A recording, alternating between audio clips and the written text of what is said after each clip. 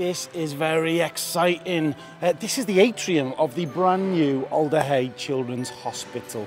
Uh, it's getting built as we speak, due to open in September. Let's have a little look at how this massive structure has come together.